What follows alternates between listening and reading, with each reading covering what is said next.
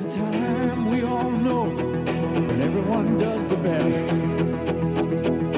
Everything comes together. You leave all the rest. You're number one at what you do.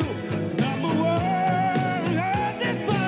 Budweiser with the clean, smooth Beechwood Age taste that's made it number one, the world's most popular beer. In all you do.